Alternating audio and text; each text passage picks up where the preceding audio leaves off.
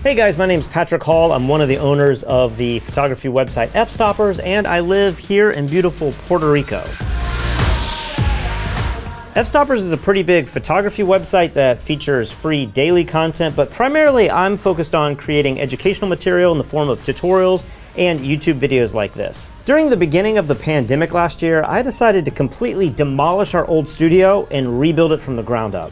Hopefully you guys enjoy this process as much as I did. Did I enjoy this process? Would I do this again? Either way, I hope you guys enjoy this and welcome to the brand new Fstopper Studio.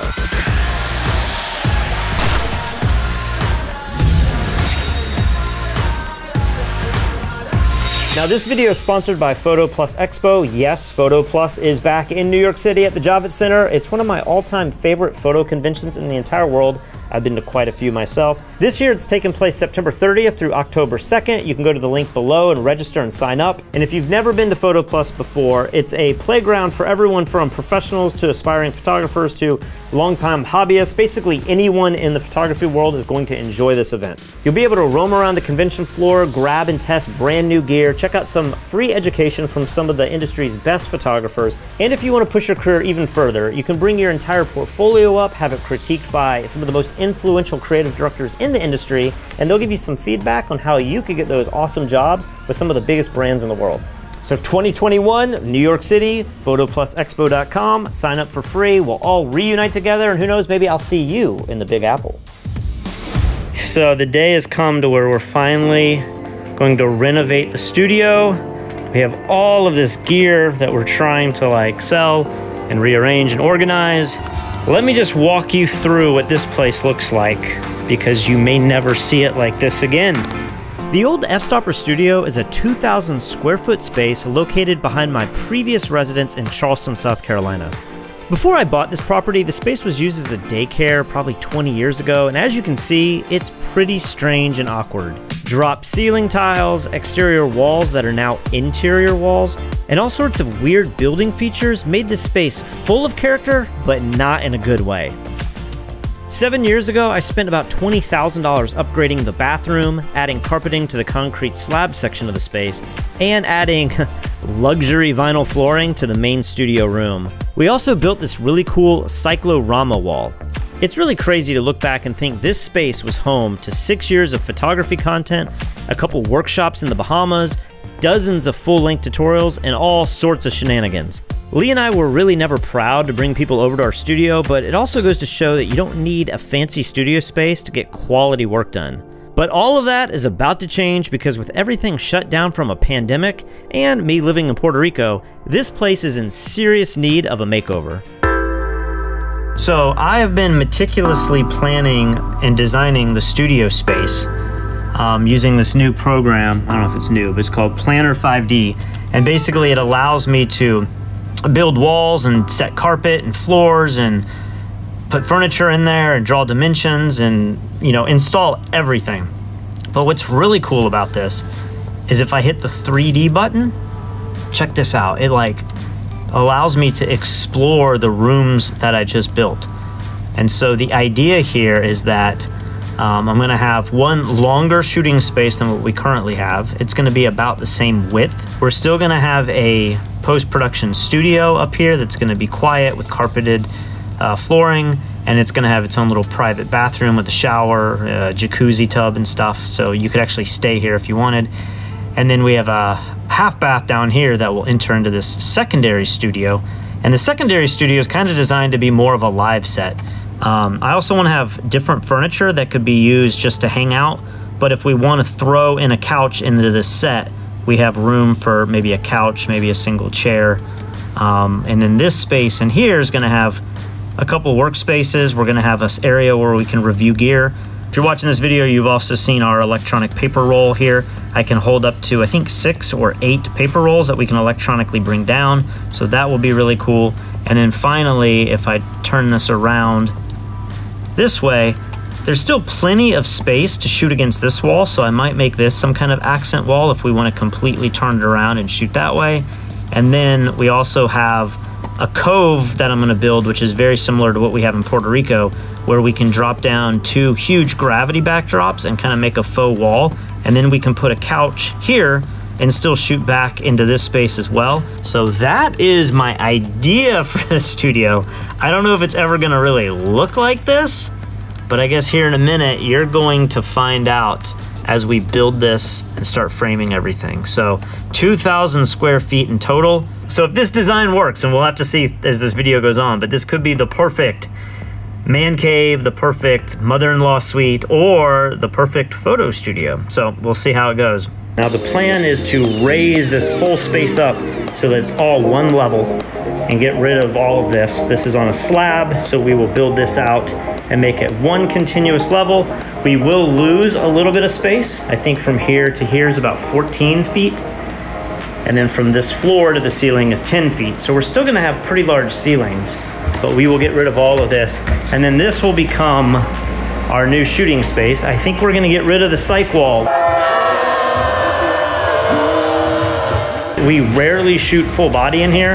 And as you can see, this distance to here is probably like 12 feet, which is not the most usable space. You really want something even wider than 12 feet. But um, got all our backdrops and everything. So this is all gonna go out. Essentially, this wall is gonna get broken down and uh, we're gonna get a room that's twice the size of this. I'm worried that I have some termite damage behind this wall, but I'm gonna have to deal with that later.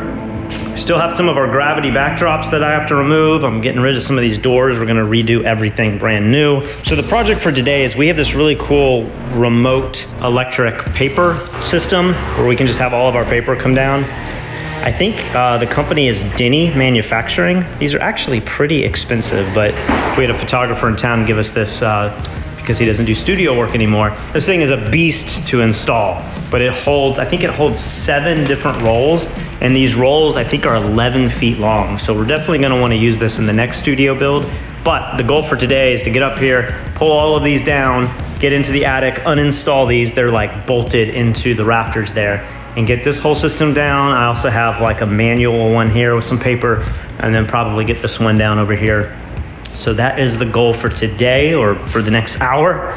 I think every day I am trying to do so much stuff. We just have so many things we have to move and get out of here um, because hopefully demo is gonna happen in like a week and a half. All right, we are making progress in here. We have almost got this place entirely empty. I know it doesn't look like it, but trust me. We got the cabinets gone. I've started removing some of the wood just so this will be a lot easier. But all of this gear that isn't selling, we are donating to a school. So we have our friend Ed here, and we just given him so much equipment. He's also going to be the proud owner of a few Mike Kelley originals. Yes. So this will be inspiration for your students. they were so valuable they wouldn't sell here in the local market, so we had to we had to give them away. Yeah. So those are those are good. We're keeping Lee Morris's photos though. Those are priceless.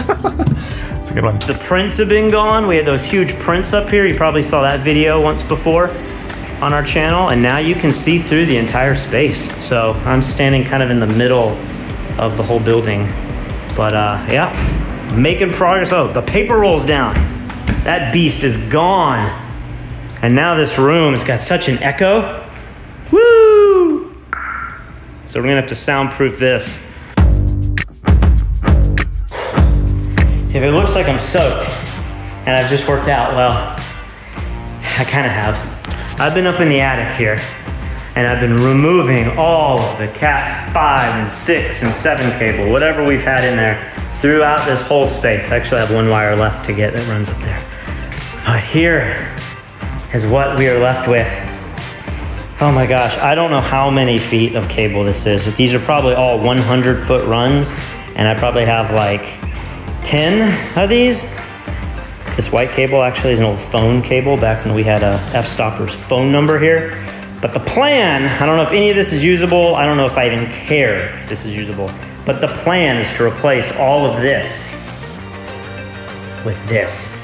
Got a thousand, thousand feet of Cat 6 cable, and uh, hopefully that will do it, and this will be a thing of the past. The goal is to have every wall have a Cat 6 cable that probably is a little too much for residential, but you know, here in Fstoppers, if we're uh, editing video, we have a 10 gigabit switch and 10 gigabit servers, NAS boxes, and so we wanna run the fastest amount of data through this. August in Charleston, being up in the attic doing home renovations is not necessarily the way I'd like to be spending my summer, but what else can you do with coronavirus? You gotta do something, so. One thing I'm having to do before the demo guys come is I'm trying to salvage anything that I put in here before that might still be able to be used. And one of those is this tub. Unfortunately, I'm gonna lose all this tile but I did like this jacuzzi tub. It's always treated me well, but I'm having to like cut this thing out so I can pull it out. It has not been easy. And I've just been like ripping up everything trying to get this to work. So I think I have one more week before the demo guys come. It's a lot of work that I'm having to do. I'm not really great with tools, but one thing I have to say is this articulating saw if you don't have one of these, this is like the greatest tool ever. You can just go in there and just cut out anything without having a big saw blade in your way, so. Stay tuned because in the next episode of This Old Studio, what seemed like all fun and games quickly turns pretty serious. Here we go, they've all left. I wanna see what this place looks like. Oh my gosh. It's like a tornado went off in here.